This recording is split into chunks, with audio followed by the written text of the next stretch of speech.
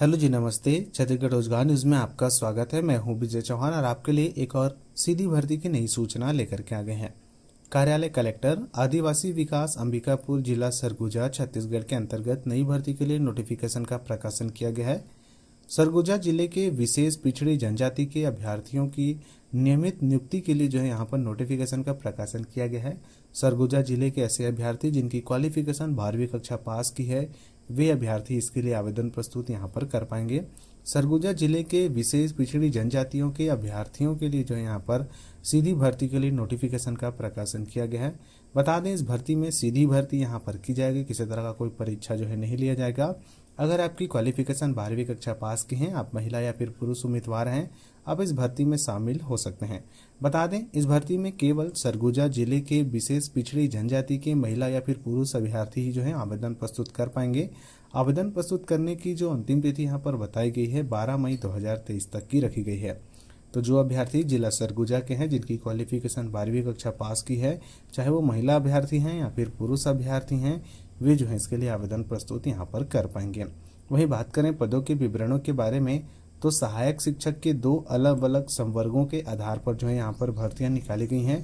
पहली जो है, संवर्ग यहाँ पर बताई गई है, ई संवर्ग के अंतर्गत टोटल सहायक शिक्षक के तिरालीस पदों पर भर्ती की जाएगी। वहीं दूसरी टी संवर्ग के अंतर्गत टोटल साठ पदों पर जो है सहायक शिक्षक की भर्तियाँ की जाएँगी। दो अलग अलग कैटेगरी के आधार पर जो है 103 पदों पर भर्तियाँ की जाएँगी। इस 103 पदों की भर्ती के लिए बारहवीं पास उम्मीदवार जो है आवेदन प्रस्तुत यहाँ पर कर पाएँगे। महिला और पुरुष दोनों तरह के अभ्यर्थी जो है इसके लिए आवेदन प्रस्तुत कर पाएँगे। एक बात का आपको ख्याल रखना है, आप सरगुजा ज़िले के विशेष पिछड़ी जनजाति के अभ्यर्थी हैं तो ही आप इसके लिए जो है आवेदन प्रस्तुत कर पाएँगे। वहीं बात करें इनको मिलने वाले वेतन के बारे में तो जो अभ्यर्थी सहायक शिक्षक के पद के लिए आवेदन प्रस्तुत करेंगे, चाहे ई संवर्ग के लिए हो या फिर टी संवर्ग के लिए हो, पच्चीस हज़ार तीन सौ रुपये से लेकर के अस्सी हज़ार पाँच सौ रुपये तक की प्रतिमा जो है आपको सैलरी देखने को मिलेगी। लेवल सिक्स के आधार पर प्रतिमा जो है आपको वेतन यहाँ पर दिया जाएगा। वही बात करें आयु सीमा। और न्यूनतम शैक्षणिक योग्यता के बारे में तो जो अभ्यर्थी इसके लिए आवेदन प्रस्तुत करना चाहते हैं, एक जनवरी 2023 की स्थिति में उनकी जो उम्र सीमा है 21 वर्ष से लेकर के 40 वर्ष के बीच में होनी चाहिए। साथ ही साथ उम्र सीमा में जो है छत्तीसगढ़ शासन द्वारा आपको छूट देखने को भी मिलेगा। बता दें, इस भर्ती में केवल बारहवीं कक्षा पास मांगा गया है। साथ ही साथ आपकी जो एजुकेशन है, उसको अधिकतम करने के लिए जो है आपको यहाँ पर पाँच वर्ष का जो है एक्स्ट्रा से आपको समय दिया जाएगा। न्यूनतम शैक्षणिक योग्यता के संबंध में ये कहा गया है कि अभ्यर्थियों को उच्चतर माध्यमिक कक्षा पास होना ज़रूरी है। साथ ही साथ जो अभ्यर्थी सहायक शिक्षक के पद के लिए आवेदन प्रस्तुत करेंगे, चाहे महिला अभ्यर्थी हों या फिर पुरुष अभ्यर्थी हों, उनकी जो क्वालिफिकेशन है बारहवीं कक्षा की यहाँ पर होनी चाहिए तभी वे सहायक शिक्षक के पद के लिए जो है आवेदन प्रस्तुत कर पाएँगे। नियुक्ति हो जाने के बाद जो है उनको पाँच वर्ष का जो है समय दिया जाएगा। इन पाँच वर्षों के भीतर में आप चाहे तो डीएड या फिर बीएड जैसे कोर्स को कर सकते हैं और इसमें उत्तीर्ण हो करके अपनी एजुकेशन को जो है यहाँ पर बढ़ा सकते हैं। तो जो अभ्यर्थी जिनकी क्वालिफिकेशन अभी बारहवीं कक्षा की है और वे सहायक शिक्षक के पद के लिए आवेदन प्रस्तुत करना चाहते हैं, उनकी जो भर्ती है मेरिट के आधार पर जो यहाँ पर की जाएगी।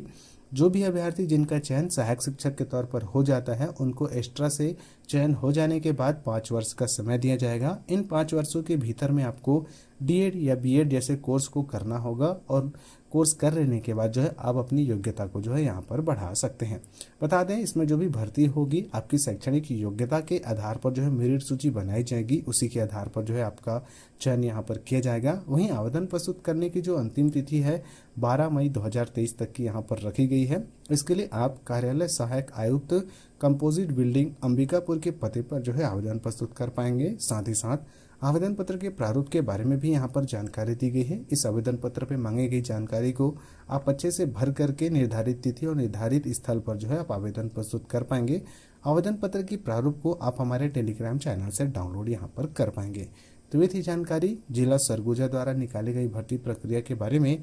इस भर्ती में केवल सरगुजा ज़िले के विशेष पिछड़ी जनजाति के अभ्यर्थी जो है, आवेदन प्रस्तुत यहाँ पर कर पाएँगे। टोटल 103 पदों पर जो है शिक्षकों की भर्ती की जाएगी। अगर आप बारहवीं कक्षा पास हैं, आप इसके लिए आवेदन प्रस्तुत कर पाएँगे।